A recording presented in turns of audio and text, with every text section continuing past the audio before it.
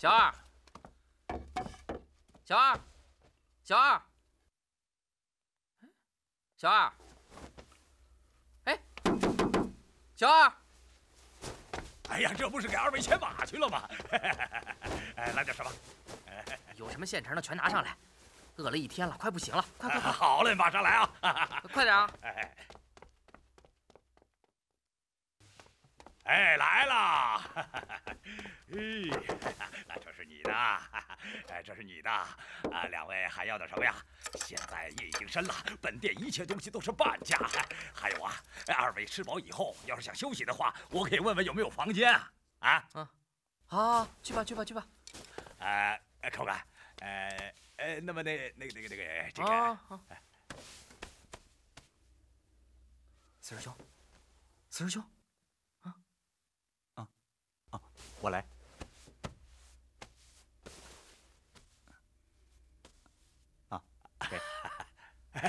那你慢用，慢用。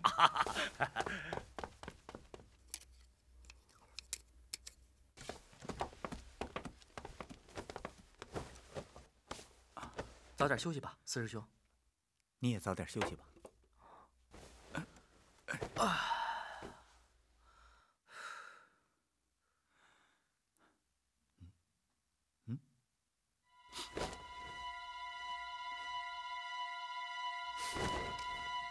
这里怎么有赫尔的味道？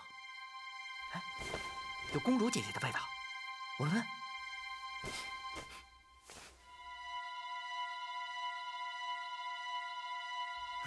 哎，四师兄，你干什么去啊？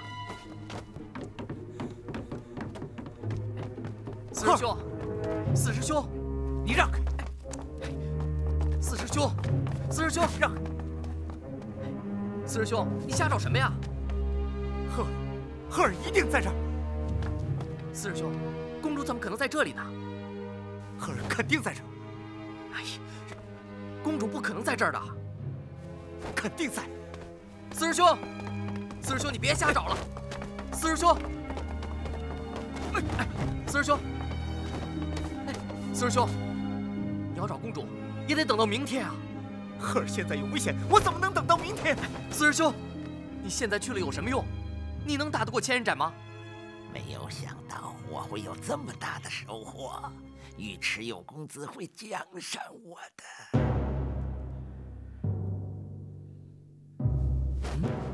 就算我打不过他，我也要去。我一定要杀了千人斩！哎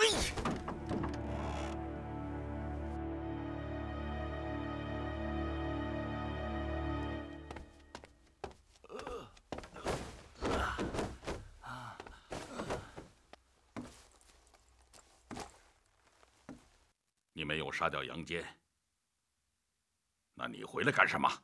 我带回来了公子的尸体。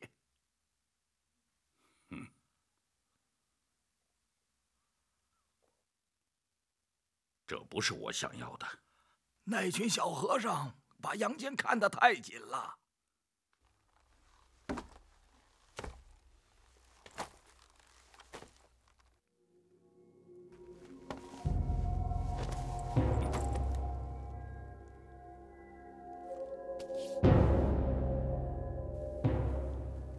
不孝的孽子啊！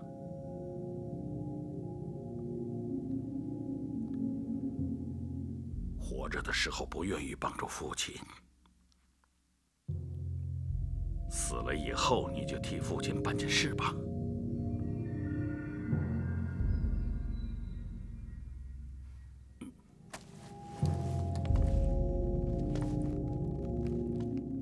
杨坚的部队到哪儿了？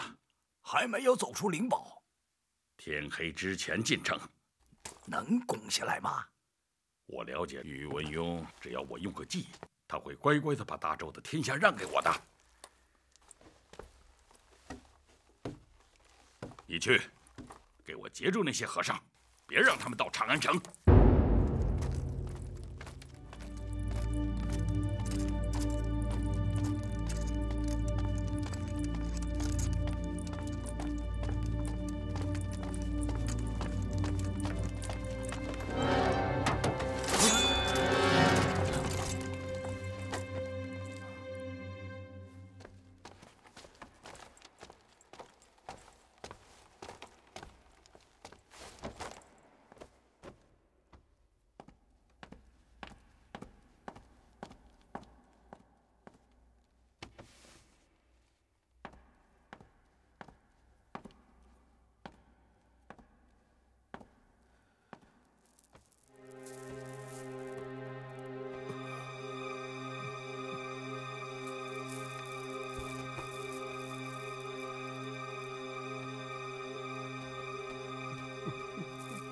皇上，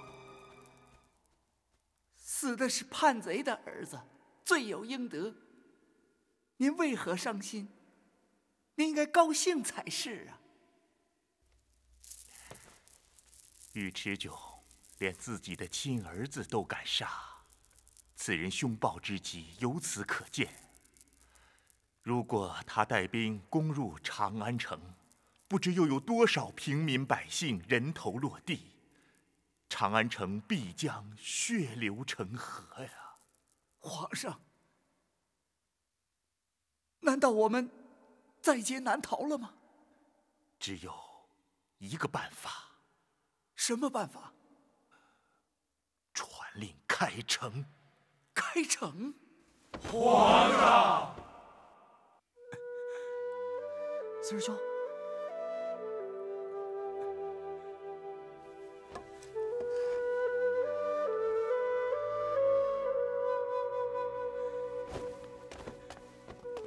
赫尔一定在这儿。哎，师兄，四师兄，你清醒一点好不好啊？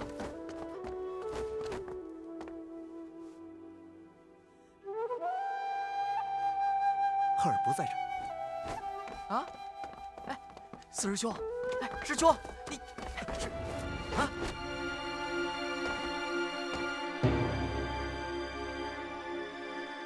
好痴情的和尚！公主在屋里，进来吧。呀呀！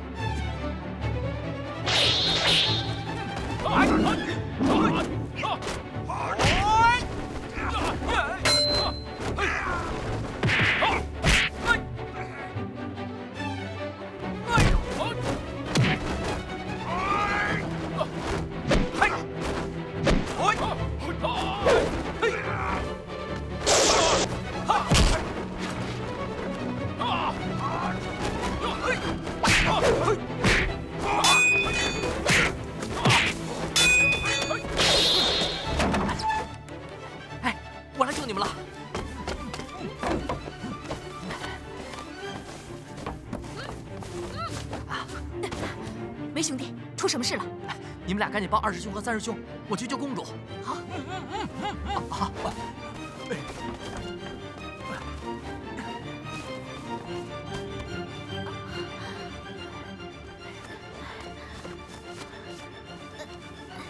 不好意思，我来晚了。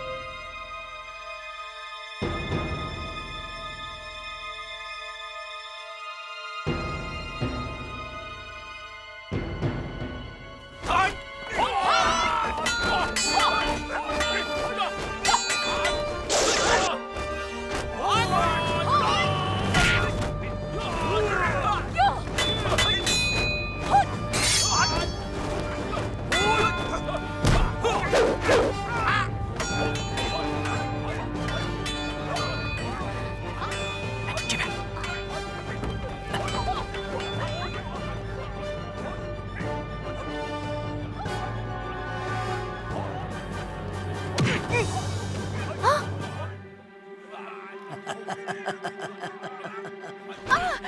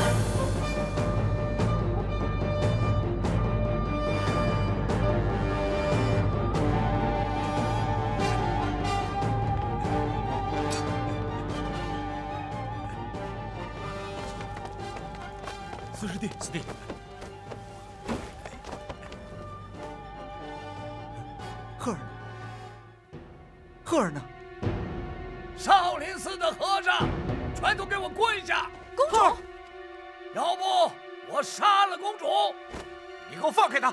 好啊，你敢上来，我就放了他。好，哎，老四，松手！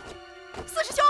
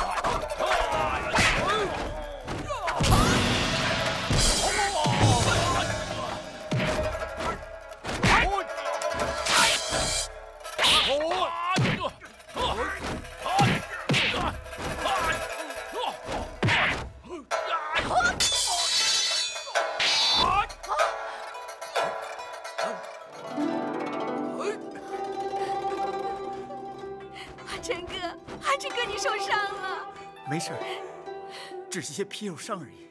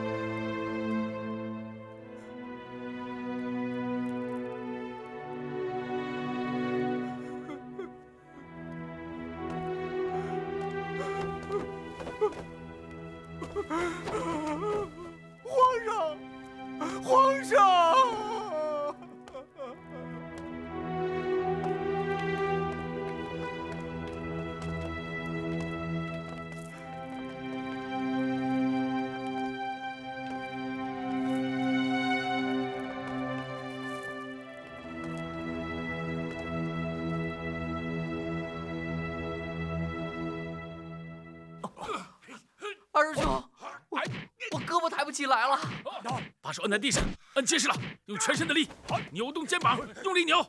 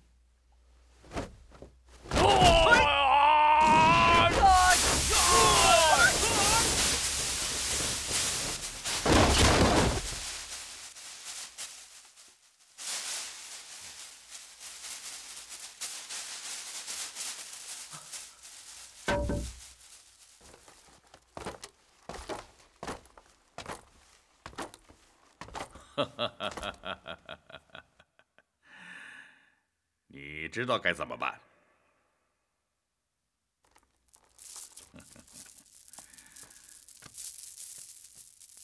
这叫风水轮流转，皇帝轮流坐嘛。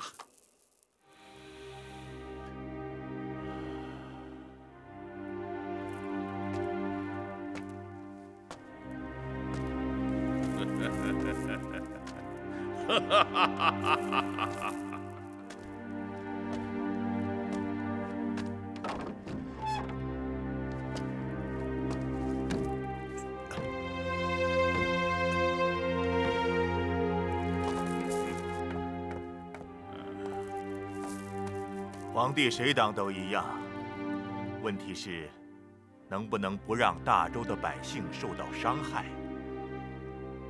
天子的任务就是保护百姓。是啊，都是这么说的，有几个人这么做了？人人都想当皇帝，就是因为皇帝享受天下最美的和最好的。这只是你们这些有野心和贪欲的人的想法。嗯，说得好。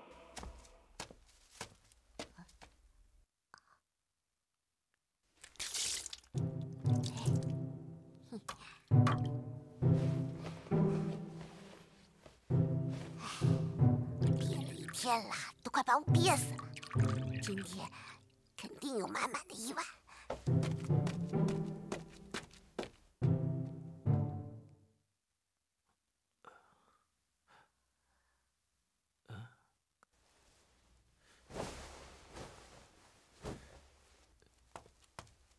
太子，你终于醒了。我这是在哪里啊？我也没有来过这儿，听他们说，好像是长安城外。什么？难道尉迟迥他已经打到长安城下了？小和尚，快帮太子把药服下。太子，你还是先把药喝了吧，别管长安城怎么样了，先把伤养好了再说。长安失守，朝廷沦陷，我这伤养好了又有何用？将军有令，今天这碗药太子不喝，就给他灌下去。你算个什么东西，敢这么跟我说话？哼！现在周朝马上就要改姓了，你少跟我逞太子的派头。现在我就可以一刀把你给杀了。你杀了他，你怎么跟将军交代呀？将军是让你看着他，不是让你来杀他的。今天就算我不杀你，你也活不过明天早上。这药的味道怎么这么怪？怎么这么骚啊？对呀，天天都是这个味道啊！你天天都是看着我喂给他喝的呀。干什么去？太子的药洒了，我去找郎中再要一碗回来。快去快回！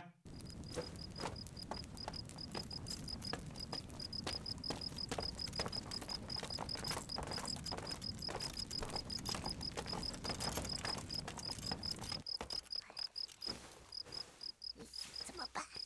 怎么办呢？刚才已经撒过尿了，现在一滴都没有。啊！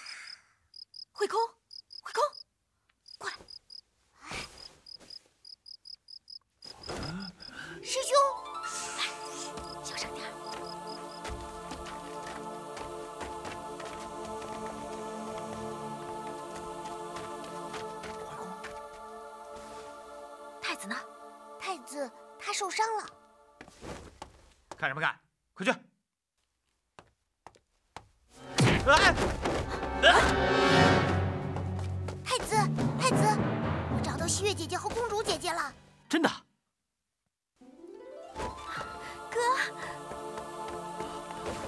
哥哥，你怎么样？赫儿，我没事，你放心吧。太子，今天的药不用喝了，以后再也不用喝了。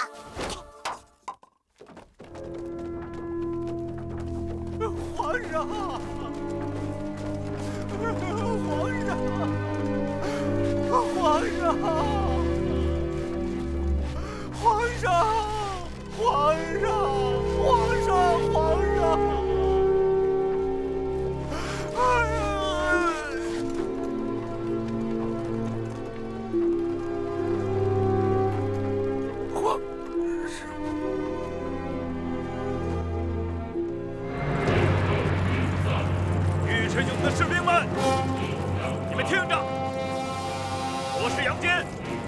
现在命令你们放下武器。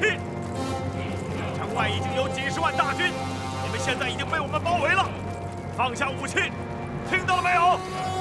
就。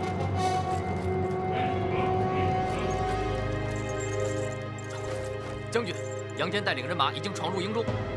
慌张什么？他带了多少人马？外面很嘈杂，我也不清楚。撤！撤！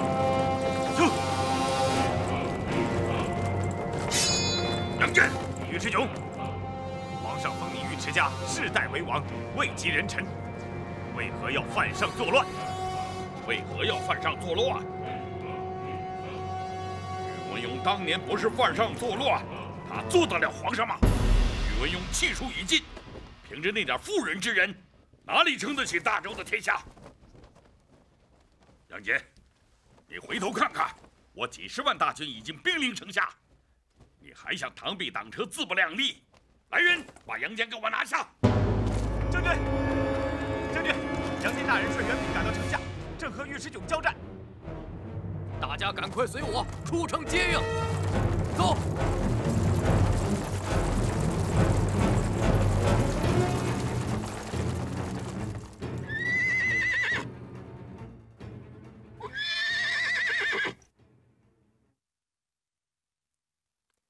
尉迟迥，赶快受降吧！我尉迟迥平生战无不胜，攻无不克，不是败在你杨坚的手里，却没有想到我败在几个秃头和尚的手里。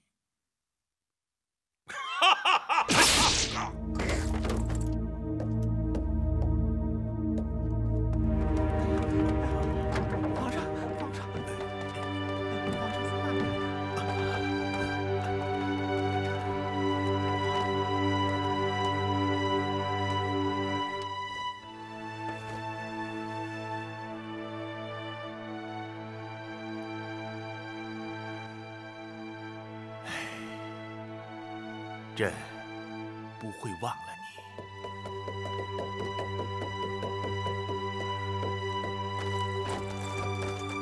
皇上，臣救驾来迟，望皇上恕罪。哎呀，快快请起，将军。要不是将军及时赶到，这长安城现在恐怕已经是一片兵荒马乱了。将军何罪之有啊？多谢各位师兄，这一路上帮助我们。跟我们回少林寺吧。难道你真的还要还俗啊？嗯，走吧，走吧。慧忍他反正就要还俗了，他做什么事就是师傅也管不了，各走各的路。师兄，咱们回少林寺吧。哦，希月姑娘，谢谢你啊。四师兄，喜欢她就把她娶回来。好。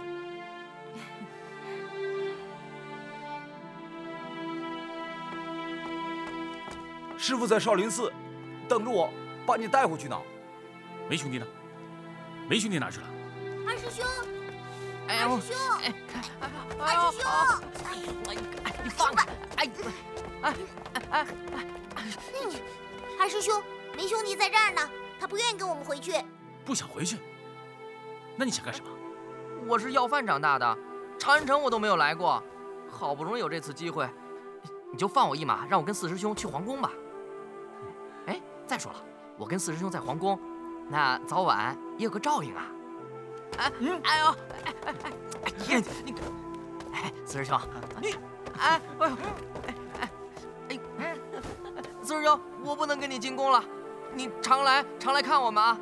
宫里有什么好吃的，你给我带上啊！哎呀，既然这样，我也不勉强你，你好自为之吧。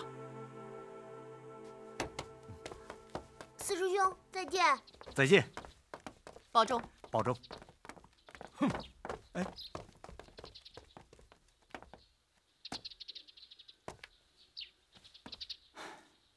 皇上，此次平定尉迟迥之乱，并非臣一人之功，幸亏有少林寺的六位高僧相助，臣才得以摆脱尉迟迥的刺客兵发长安解围。公主得救，也因为有六位高僧相助，才得以免遭尉迟迥的毒手。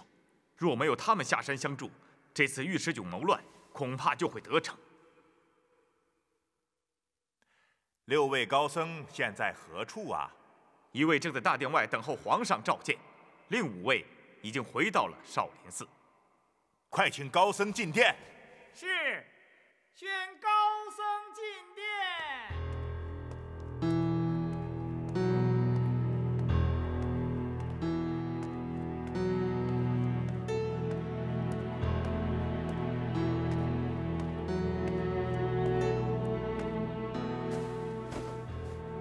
叩见皇上。高僧入世为善，不仅救了长安的黎民，还救下了太子和公主，功德无量啊！寡人要重重封赏少林寺。你和你的师兄们有什么要求，但讲无妨。但凡寡人能够力所能及，一定办到。贫僧仅有一事相求，请讲。请皇上恩准贫僧还俗，与公主成婚。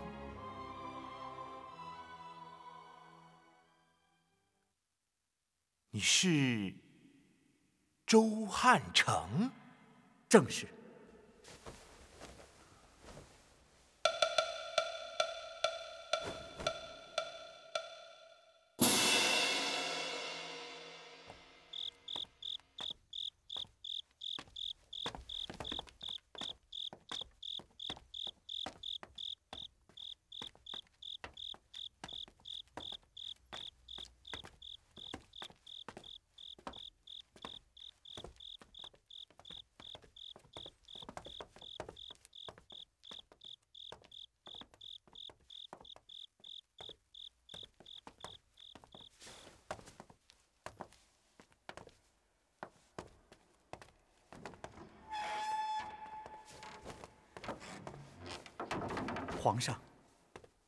回忍师傅不必拘礼，起来吧。谢皇上。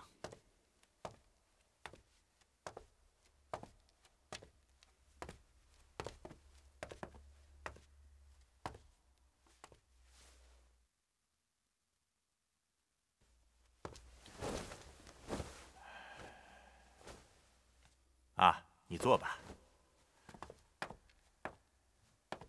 回忍师傅。近年来，我大周四邻不安，年年都有战事。你知道，去年和齐军一仗，我大周死了多少将士吗？贫僧不知。三十万。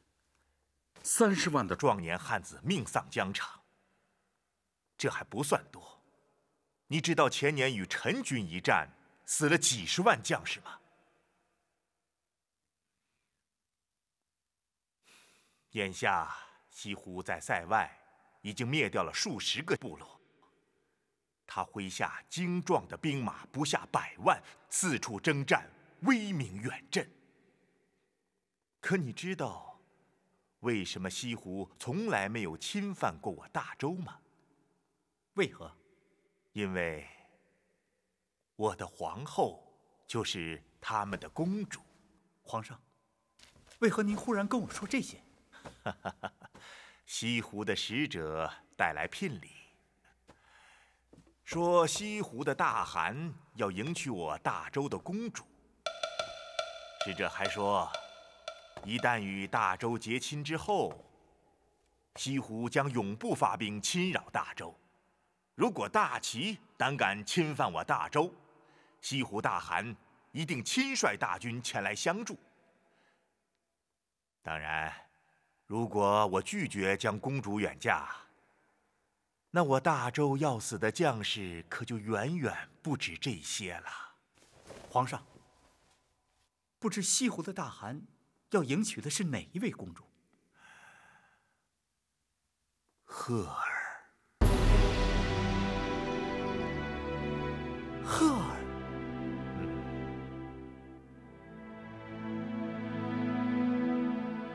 皇上，我知道，我知道你一定难以割舍。我又何尝割舍得下自己的女儿远嫁到荒蛮之地呀？可是皇家无私事，皇家的人从一生下来，就无法按照自己的心愿来办事。别说大周公主，就算一般皇族女儿，自从她一出生，她的命就已经被安排好了。我的皇后是西湖的公主，我虽然并不爱她，可是我仍然日复一日举案齐眉，相敬如宾。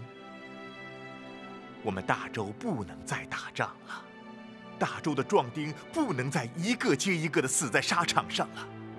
两年来，其数次派遣使臣到西湖去求亲，而西湖一直都没有答应。近日，可汗主动派使臣来求娶公主。如果我们拒绝赫尔远嫁边疆，那与西湖和亲的一定是齐。一旦齐与西湖和亲，大周面临的就是与其无休止的征战。慧仁师傅啊！到底让不让赫尔去西湖和亲？这个就由你来选择吧。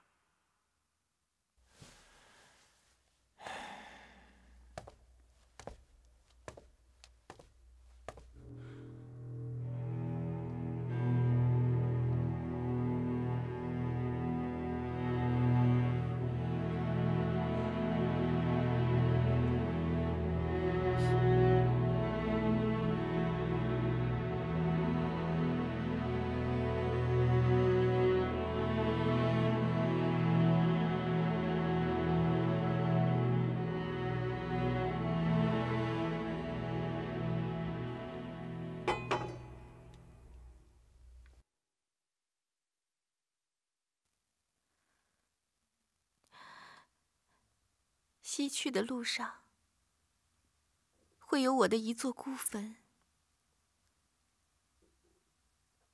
汉城哥，要记得每年给我的坟头上添把土，要不我会很孤独的。呵。你不能这样，你应该活下去。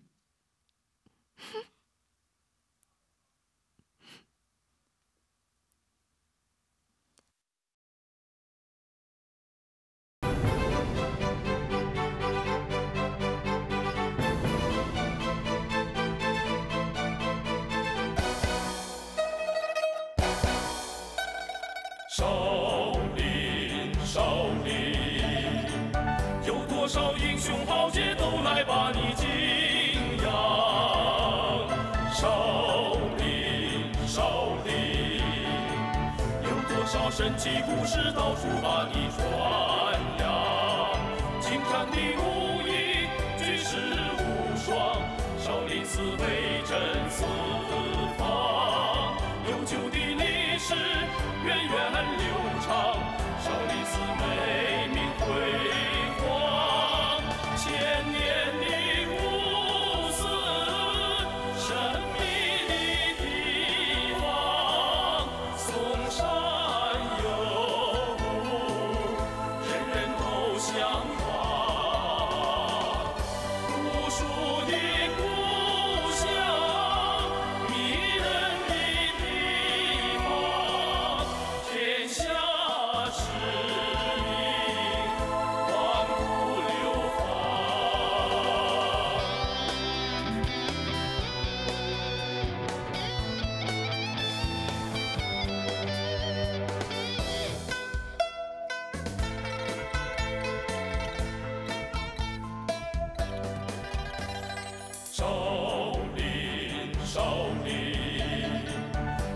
多少英雄豪杰都来把你敬仰。